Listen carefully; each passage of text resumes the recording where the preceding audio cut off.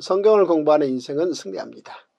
누구나 성경을 공부하면 인생의 성공의 순간에 오직 하나님께 영광을 돌릴 수 있습니다. 누구나 성경을 공부하면 인생의 실패의 순간에도 하나님의 긍휼로 새롭게 시작할 수 있습니다. 여기 여러분의 성경을 쉽고 재미있는 이야기로 도울 수 있는 큰 글자 통독 성경이 있습니다. 역사순 1년 1독으로 출간된 세계 유일한 통독 성경입니다.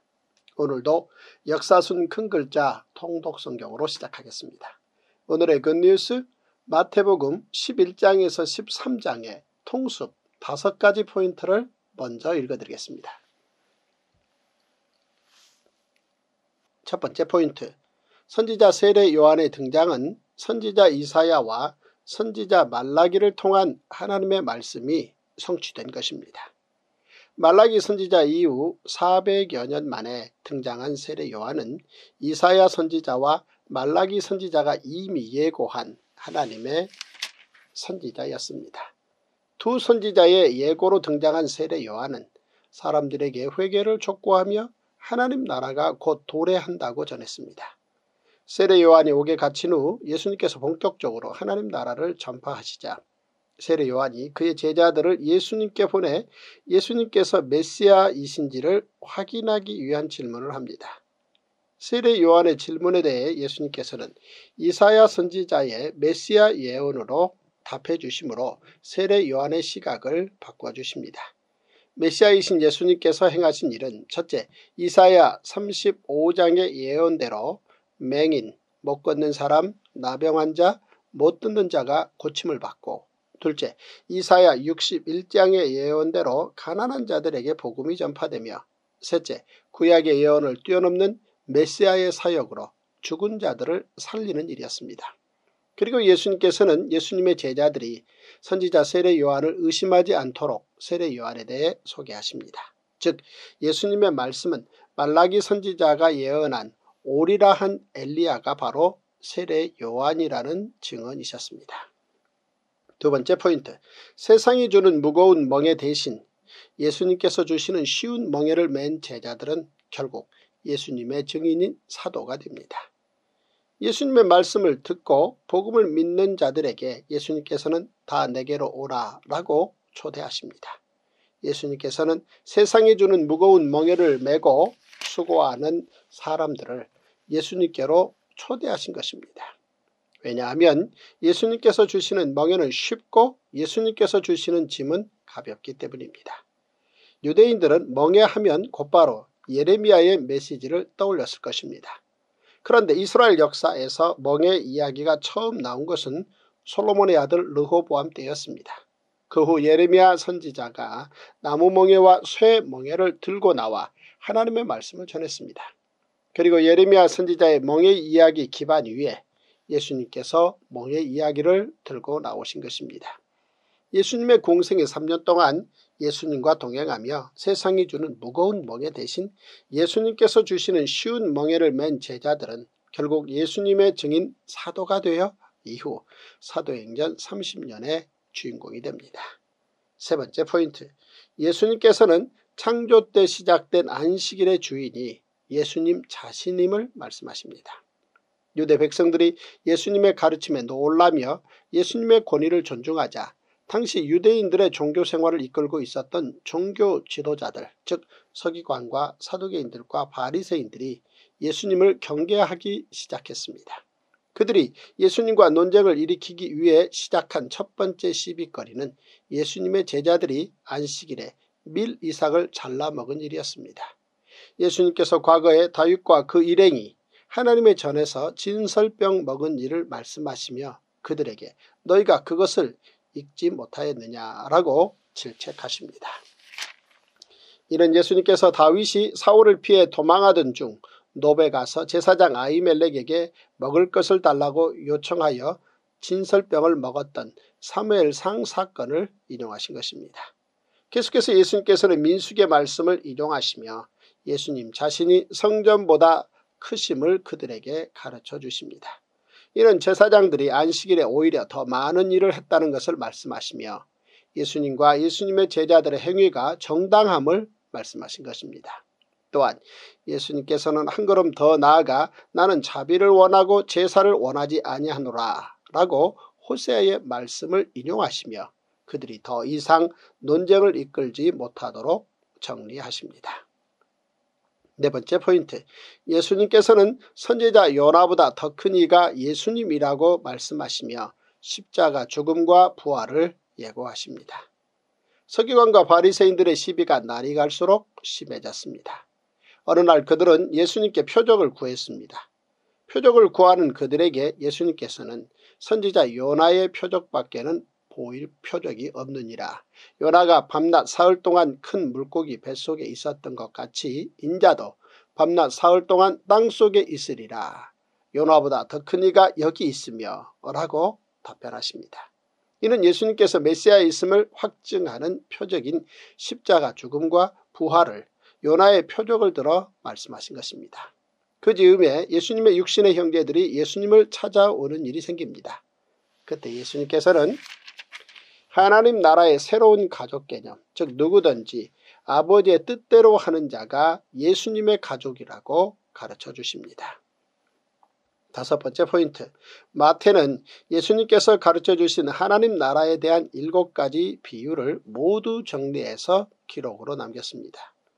예수님께서 하나님 나라에 대해 비유를 들어 가르쳐 주신 것은 비유는 쉽고 재미있는 월등한 교육 방법으로 어린아이부터 어른까지 누구나 쉽게 이해할 수 있기 때문입니다. 그래서 예수님께 비유를 통해 하나님 나라를 배운 사람들은 예수님의 공생의 3년 만에 하나님 나라를 이해할 수 있었습니다. 예수님께서는 농부에게는 천국은 좋은 씨를 제 밭에 뿌린 사람과 같으니 주부에게는 천국은 마치 여자가 가루 서말 속에 갖다 넣어 전부 부풀게 한 누룩과 같으니 상인에게는 천국은 마치 좋은 진주를 구하는 장사와 같으니 어부에게는 천국은 마치 바다에 치고 각종 물고기를 모는 그물과 같으니 라며 비유를 통해 쉽게 하나님 나라를 가르쳐 주셨습니다. 예수님께서 가르쳐 주신 하나님 나라 일곱 가지 비유는 씨 뿌리는 자의 비유, 가라지 비유, 겨자씨 비유, 누룩 비유, 감추어진 보화 비유, 값진 진주 비유, 그리고 그물 비유입니다. 예수님께서는 이를 통해 하나님 나라를 알고 깨닫게 된 자들 곧 하나님 나라의 제자가 된 서기관들이 된 이들은 새것, 복음과 옛것, 율법을 마음에 담고 전하는 사람이 되어야 한다고 가르쳐 주십니다. 모든 성경은 유익합니다. 세상 예화나 성경 요절주의, 권별주의는 끝내 성경을 어렵게 합니다. 모든 성경을 모든 가정에서 다섯 살부터 통성경 스토리로 듣게 되면 성경은 곧 쉽고 재미있는 책이 될 것입니다. 모든 성경 이야기에는 첫째 하나님의 법, 둘째 하나님의 긍휼, 셋째 하나님의 기적이 들어 있습니다. 그러므로 성경 한 권이면 충분합니다. 와우! 제284일 마태복음 11장 예수께서 열두 제자에게 명하기를 마치시고 이에 그들의 여러 동네에서 가르치시며 전도하시려고 거기를 떠나가시니라.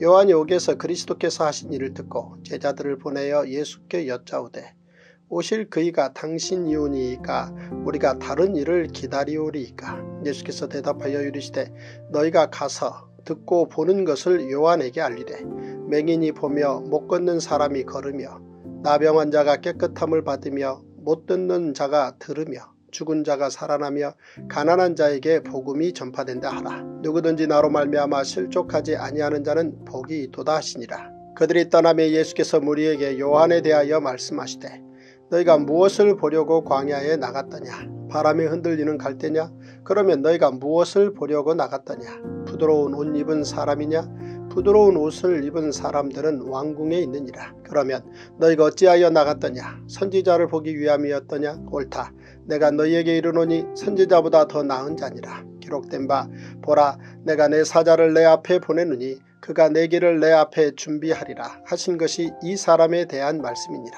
내가 진실로 너에게 말하노니 여자가 낳은 자 중에 세례 요한보다 큰 이가 일어남이 없도다. 그러나 천국에서는 극히 작은 자라도 그보다 크니라. 세례 요한의 때부터 지금까지 천국은 침노를 당하나니 침노하는 자는 빼앗느니라.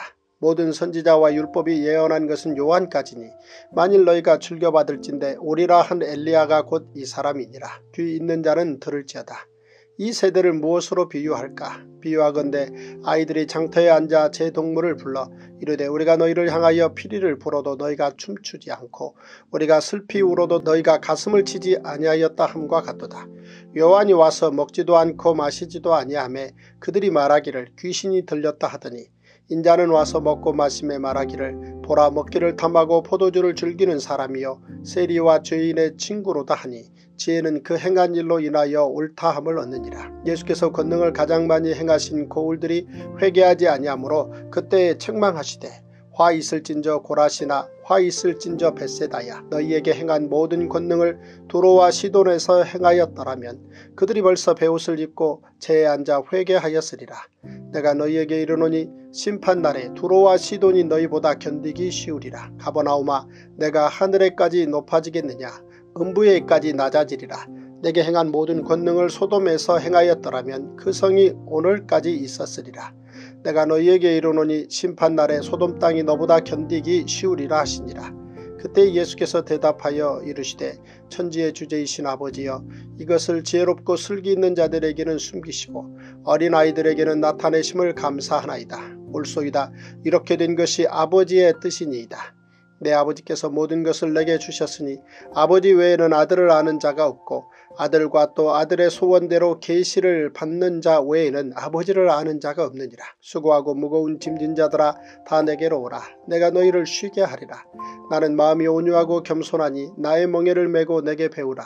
그리하면 너희 마음이 쉼을 얻으리니 이는 내 멍에는 쉽고 내 짐은 가벼움이라 하시니라. 마태복음 12장 그때 예수께서 안식일에 밀밭 사이로 가실새 제자들이 시장하여 이삭을 잘라 먹으니 바리새인들이 보고 예수께 말하되 보시오 당신의 제자들이 안식일에 하지 못할 일을 하나이다. 예수께서 이르시되 다윗이 자기와 그 함께한 자들이 시장할 때에 한 일을 잃지 못하였느냐. 그가 하나님의 전에 들어가서 제사장 외에는 자기나 그 함께한 자들이 먹어서는 안 되는 진설병을 먹지 아니하였느냐. 또 안식일에 제사장들이 성전 안에서 안식을 범하여도 죄가 없음을 너희가 율법에서 읽지 못하였느냐. 내가 너희에게 이르노니 성전보다 더 큰 이가 여기 있느니라. 나는 자비를 원하고 제사를 원하지 아니하노라 하신 뜻을 너희가 알았더라면 무죄한 자를 정죄하지 아니하였으리라. 인자는 안식일의 주인이니라 하시니라. 거기에서 떠나 그들의 회당에 들어가시니 한쪽 손 마른 사람이 있는지라 사람들이 예수를 고발하려 하여 물어 이르되 안식일에 병 고치는 것이 옳으니까? 예수께서 이르시되 너희 중에 어떤 사람이 양 한 마리가 있어 안식일에 구덩이에 빠졌으면 끌어내지 않겠느냐? 사람이 양보다 얼마나 더 귀하냐? 그러므로 안식일에 선을 행하는 것이 옳으니라 하시고 이에 그 사람에게 이르시되 손을 내밀라 하시니 그가 내밀매 다른 손과 같이 회복되어 성하더라. 바리새인들이 나가서 어떻게 하여 예수를 죽일까 의논하거를 예수께서 아시고 거기를 떠나가시니 많은 사람이 따르는지라 예수께서 그들의 병을 다 고치시고 자기를 나타내지 말라 경고하셨으니 이는 선지자 이사야를 통하여 말씀하신 바 보라 내가 택한 종 곧 내 마음에 기뻐하는 바 내가 사랑하는 자로다. 내가 내 영을 그에게 줄 터이니 그가 심판을 이방에 알게 하리라. 그는 다투지도 아니하며 들레지도 아니하리니 아무도 길에서 그 소리를 듣지 못하리라. 상한 갈대를 꺾지 아니하며 꺼져가는 심지를 끄지 아니하기를 심판하여 이길 때까지 하리니 또한 이방들이 그의 이름을 바라리람을 이루려 하심이니라. 그때 귀신 들려 눈멀고 말 못하는 사람을 데리고 왔거늘 예수께서 고쳐주심에 그 말 못하는 사람이 말하며 보게 된지라. 우리가 다 놀라 이르되 이는 다윗의 자손이 아니냐 하니 바리새인들은 듣고 이르되 이가 귀신의 왕 바알세부를 힘입지 않고는 귀신을 쫓아내지 못하느니라 하거늘 예수께서 그들의 생각을 아시고 이르시되 스스로 분쟁하는 나라마다 황폐하여질 것이요 스스로 분쟁하는 동네나 집마다 서지 못하리라. 만일 사탄이 사탄을 쫓아내면 스스로 분쟁하는 것이니 그리하고야 어떻게 그의 나라가 서겠느냐. 또 내가 바알세보를 힘입어 귀신을 쫓아내면 너희의 아들들은 누구를 힘입어 쫓아내느냐. 그러므로 그들이 너희의 재판관이 되리라. 그러나 내가 하나님의 성령을 힘입어 귀신을 쫓아내는 것이면 하나님의 나라가 이미 너희에게 임하였느니라. 사람이 먼저 강한 자를 결박하지 않고서야 어떻게 그 강한 자의 집에 들어가 그 세가를 강탈하겠느냐. 결박한 후에야 그 집을 강탈하리라. 나와 함께 아니하는 자는 나를 반대하는 자요 나와 함께 모으지 아니하는 자는 해치는 자니라. 그러므로 내가 너희에게 이르노니 사람에 대한 모든 죄와 모독은 사하심을 얻되 성령을 모독하는 것은 사하심을 얻지 못하겠고 또 누구든지 말로 인자를 거역하면 사하심을 얻되 누구든지 말로 성령을 거역하면 이 세상과 오는 세상에서도 사하심을 얻지 못하리라. 나무도 좋고 열매도 좋다 하든지 나무도 좋지 않고 열매도 좋지 않다 하든지 하라. 그 열매로 나무를 아느니라. 독사의 자식들아 너희는 악하니 어떻게 선한 말을 할 수 있느냐. 이는 마음에 가득한 것을 입으로 말함이라. 선한 사람은 그 쌓은 선에서 선한 것을 내고 악한 사람은 그 쌓은 악에서 악한 것을 내느니라. 내가 너희에게 이르노니 사람이 무슨 무익한 말을 하든지 심판날에 이에 대하여 신문을 받으리니 내 말로 의롭담을 받고 내 말로 정죄함을 받으리라. 그때 서기관과 바리새인 중 몇 사람이 말하되 선생님이여 우리에게 표적 보여주시기를 원하나이다. 예수께서 대답하여 이르시되 악하고 음란한 세대가 표적을 구하나 선지자 요나의 표적밖에는 보일 표적이 없느니라. 요나가 밤낮 사흘 동안 큰 물고기 뱃속에 있었던 것 같이 인자도 밤낮 사흘 동안 땅속에 있으리라. 심판 때에 느누의 사람들이 일어나 이 세대의 사람을 정죄하리니 이는 그들이 요나의 전도를 듣고 회개하였음이거니와 요나보다 더 큰 이가 여기 있으며 심판 때 남방 여왕이 일어나 이 세대 사람을 정죄하리니 이는 그가 솔로몬의 지혜로운 말을 들으려고 땅끝에서 왔음이거니와 솔로몬보다 더 큰 이가 여기 있느니라. 더러운 귀신이 사람에게서 나갔을 때에 물 없는 곳으로 다니며 쉬기를 구하되 쉴 곳을 얻지 못하고 이에 이르되 내가 나온 내 집으로 돌아가리라 하고 와보니 그 집이 비고 청소되고 수리되었거늘 이에 가서 저보다 더 악한 귀신 일곱을 데리고 들어가서 거하니 그 사람의 나중 형편이 전보다 더욱 심하게 되느니라. 이 악한 세대가 또한 이렇게 되리라. 예수께서 무리에게 말씀하실 때에 그의 어머니와 동생들이 예수께 말하려고 밖에 섰더니 한 사람이 예수 께 여짜오되 보소서 당신의 어머니와 동생들이 당신께 말하려고 밖에 서 있나이다 하니 말하던 사람에게 대답하여 이르시되 누가 내 어머니이며 내 동생들이냐 하시고 손을 내밀어 제자들을 가리켜 이르시되 나의 어머니와 나의 동생들을 보라. 누구든지 하늘에 계신 내 아버지의 뜻대로 하는 자가 내 형제요 자매요 어머니이니라 하시더라. 마태복음 13장 그날 예수께서 집에서 나가사 바닷가에 앉으심에 큰 무리가 그에게로 모여들거늘 예수께서 배에 올라가 앉으시고 온 무리는 해변에 서 있더니 예수께서 비유로 여러 가지를 그들에게 말씀하여 이르시되 씨를 뿌리는 자가 뿌리러 나가서 뿌릴새 더러는 길가에 떨어짐에 새들이 와서 먹어버렸고 더러는 흙이 얕은 돌밭에 떨어짐에 흙이 깊지 아니하므로 곧 싹이 나오나 해가 돋은 후에 타서 뿌리가 없으므로 말랐고 더러는 가시떨기 위에 떨어짐에 가시가 자라서 기운을 막았고 더러는 좋은 땅에 떨어짐에 어떤 것은 100배 어떤 것은 60배 어떤 것은 30배의 결실을 하였느니라. 귀 있는 자는 들으라 하시니라. 제자들이 예수께 나와 이르되 어찌하여 그들에게 비유로 말씀하시나이까 대답하여 이르시되 천국의 비밀을 아는 것이 너희에게는 허락되었으나 그들에게는 아니 되었나니 무릇 있는 자는 받아 넉넉하게 되되 없는 자는 그 있는 것도 빼앗기리라. 그러므로 내가 그들에게 비유로 말하는 것은 그들이 보아도 보지 못하며 들어도 듣지 못하며 깨닫지 못함이니라. 이사야의 예언이 그들에게 이루어졌으니 일러스되 너희가 듣기는 들어도 깨닫지 못할 것이요 보기는 보아도 알지 못하리라.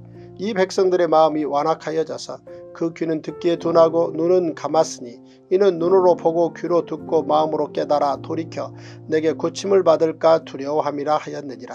그러나 너희 눈은 봄으로 너희 귀는 들음으로 복이 있도다. 내가 진실로 너희에게 이르노니 많은 선지자와 의인이 너희가 보는 것들을 보고자 하여도 보지 못하였고 너희가 듣는 것들을 듣고자 하여도 듣지 못하였느니라. 그런즉 씨 뿌리는 비유를 들으라.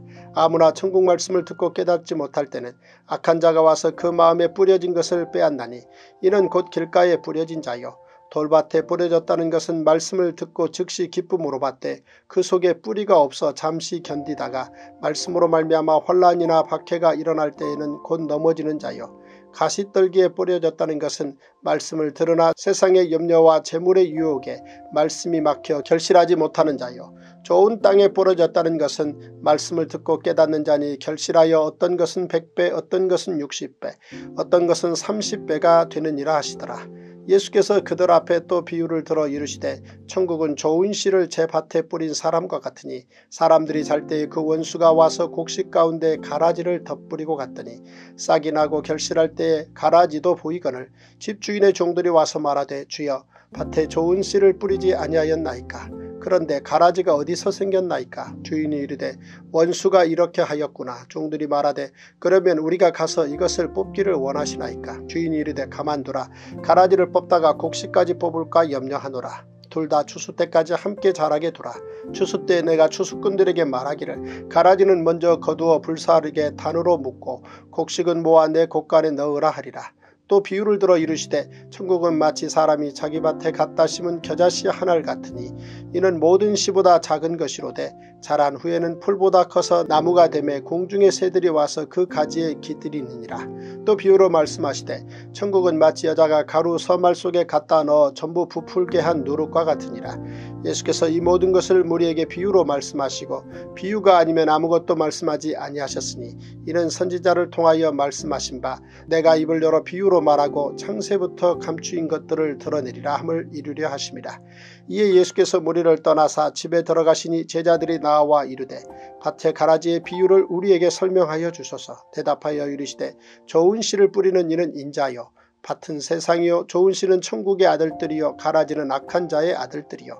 가라지를 뿌린 원수는 마귀요. 추수 때는 세상 끝이요 추수꾼은 천사들이니 그런즉 가라지를 거두어 불에 사르는 것 같이 세상 끝에도 그러하리라. 인자가 그 천사들을 보내리니 그들이 그 나라에서 모두 넘어지게 하는 것과 또 불법을 행하는 자들을 거두어대어 풀무불에 던져 넣으리니 거기서 울며 이를 갈게 되리라. 그때 의인들은 자기 아버지 나라에서 해와 같이 빛나리라. 귀 있는 자는 들으라. 천국은 마치 밭에 감추인 보화와 같으니 사람이 이를 발견한 후 숨겨두고 기뻐하며 돌아가서 자기의 소유를 다 팔아 그 밭을 사느니라. 또 천국은 마치 좋은 진주를 구하는 장사와 같으니 극히 값진 진주 하나를 발견하며 가서 자기의 소유를 다 팔아 그 진주를 사느니라. 또 천국은 마치 바다에 치고 각종 물고기를 모는 그물과 같으니 그물에 가득함에 물가로 끌어내고 앉아서 좋은 것은 그릇에 담고 못된 것은 내버리느니라. 세상 끝에도 이러하리라. 천사들이 와서 의인 중에서 악인을 갈라내어 풀무불에 던져 넣으리니 거기서 울며 이를 갈리라. 이 모든 것을 깨달았느냐 하시니 대답하되 그러하오이다.